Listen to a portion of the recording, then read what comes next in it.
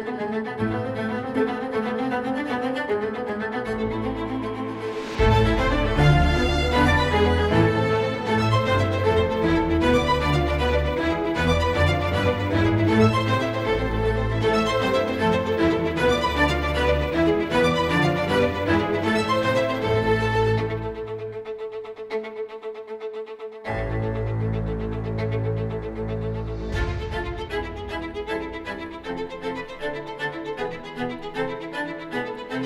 Reactivate Alright. payments. Apparently, I already activated this. I'm here and I have zero mob.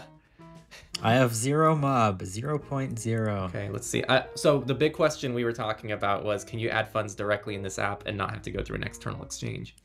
Oh my gosh, you can't. You it- cannot, as far as I can tell. That is so whack, dude. Okay, so let me move over to my desktop then and see where the hell you buy this nonsense. Man, it'd be so nice if they supported more than mobile coin. Oh, instant mob to Bitcoin swap. Okay. Atomic wallet. Let me make sure this is legit. I mean, no one's saying just flat out, you know, is it scam? Is it M MBOX? It's not. So it doesn't support mobile coin. The mobile coins website um, suggests mix swap. You have to get a separate messenger app. What? you have to download an app called Mixin Messenger. Oh, but if I click the link to it, it says 404 page not found. I think I might have found something. Bitcoin to mob, mixswap. Dot, eh, okay, go to app.mixswap.exchange. And I don't want to wait lose that much money with this nonsense. Um, let's do zero five. okay, I have twenty bucks. That's suspended trading. I gotta notice. Note Mixswap has suspended trading due to the delay in the Mixin mainnet, which has affected multi-sig transactions. Cryptocurrency is so stupid, man. Okay. The ExinOne link doesn't work on my phone. It, I. I, I get an error message I've literally never seen before that says Safari cannot open the page because the address is invalid. I can't even open links on X anymore. what? I don't want to have to open a Binance account just for this though, because it's gonna will Is- it KYC me? I think it will. Let me try. Binance, I didn't even think Binance is available in the US. They have Binance USA. Right, I don't think that supports mobile coin. Binance USA doesn't support like anything useful as far as I am aware. See, what really irritates me about this is I envision this as being an alternative to something like Venmo or just something like Apple Cash. You know, Apple has this whole thing where you can just send people money and it's super convenient. Like, imagine I'd have to get someone to start using this nonsense. Okay, so there was a Mixin network exploit on September 23rd, apparently. So all of these exchanges are down because I'm on a different one called 4swap, which was renamed a Pando Swap, and they can't do it either. On the MixSwap exchange site, um, one of the exchanges listed besides ExinOne was 4swap, the nu- the numeral four swap. So I looked that up to see if they could do the exchange. Um, but there's like a bunch of error messages on their page too saying like in september there was a Mixin network exploit so they all suffered losses and they can't do anything So I mean, even nothing's- if I want to like KYC myself on a whole new platform um and I, I want to just go through this nonsense, can I still not do it? Where do I go? the other okay they do mobile coin recommends an exchange called s fox S Fox. Okay. Which i think is an exchange and not like a swap service Right. where you could probably kyc yourself Let's see. um but it looks i mean they all look suspicious to me but Right. Well, let's see how far I can get without having to KYC myself. Oh, here it goes. Verify email, verify phone, verify ID. So you'd have to verify yourself on this SFOX platform to be Hmm. able to buy mobile coin and send it here into this wallet. Do you know anyone with mobile coin already? I've never seen a single person. I've never even heard of a single person using mobile coin. I'm really upset you can't just buy it with Apple Pay directly in the app. Because if it did that, I think it would actually be somewhat useful. Maybe. It'd still be hard to get it out of the app, like the money, Right. but at least you could.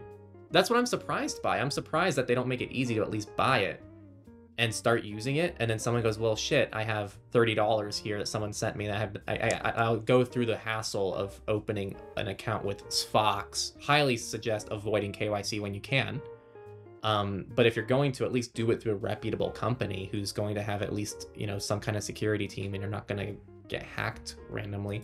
Um, at the time we're testing this, we can't even swap it. I was hoping to be able to just swap it because I already have Bitcoin and Monero, and so I would be able to just send it to a swap, and they would just give me Mhm. mobile coin to my address. But we can't find a way to do that either. Just downloading different apps at this point. How can none of these apps let you buy the cryptocurrency? Isn't that the whole point of cryptocurrency? Yeah. To take your money? Oh my gosh, this app. It says you can fund your account with stable coins like EUSD, whatever that is, but then you click it, it says funding EUSD with crypto is temporarily unavailable at this time. Just can't even do that. What's the point? No, you have to KYC yourself in this app too to buy it with a debit card. Uh, I'm on something called Biz.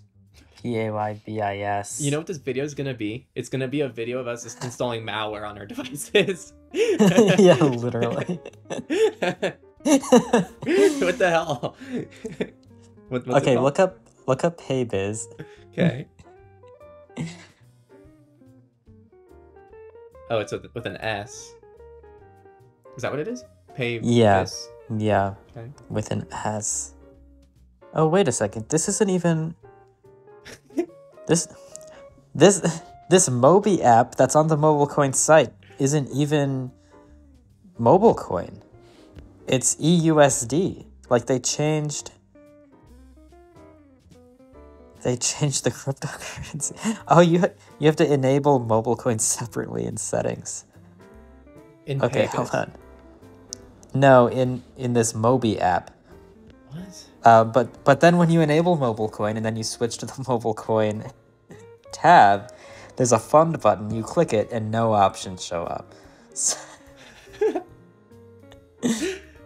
Man, if you could look at my phone screen right now, it's so ridiculous. I kind of wonder why the US is so restricted because usually it's the opposite. I would expect all of these services to not be available in the EU and to be available in the US, but it's always the opposite case with Right. stuff like this. Okay. Created an account. Get you verified. Oh, yep. Yep. Complete the following steps to verify your account. I need personal information, government issued ID, a liveness check, and a questionnaire. Oh no, they they they won't let me in, man. There's an official like buymobilecoin.com service in their FAQ.